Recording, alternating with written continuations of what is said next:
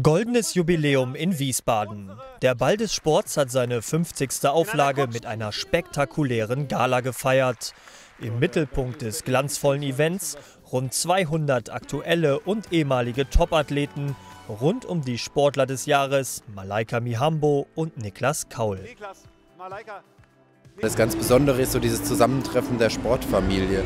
Wir sehen hier oder wir sehen uns hier die Sportler, die sich vielleicht nur ein bis zweimal im Jahr sehen. Das ist natürlich irgendwie ein, ein legendäres Event, aber ich finde es immer schön, wenn irgendwie ja, so was Wohltätiges mit einem schönen Anlass verbunden wird, dass man einfach ähm, ja, ein bisschen den Sport feiern kann für das, was er, was er bietet. Für mich ist es der erste Ball des Sports, von daher bin ich natürlich ähm, ja, froh, hier bei einer Jubiläumsauflage sozusagen mit dabei zu sein und lass mich einfach überraschen, was der Abend so bringt.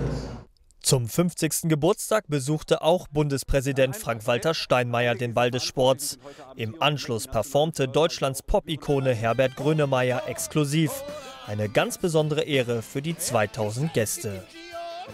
Das ist die höchste Wertschätzung, die man bekommen kann von der Politik, dass der Bundespräsident, aber auch Frau Kram-Karrenbau, äh, Jens Spahn, Volker Bouffier, all diese Gäste da sind.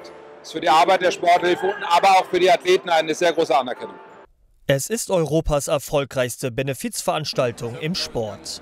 Bei der Sporthilfe rechnet man mit einem Gesamterlös von mehr als 750.000 Euro für die Athletenförderung. Der Ball des Sports, eine großartige Show für den guten Zweck.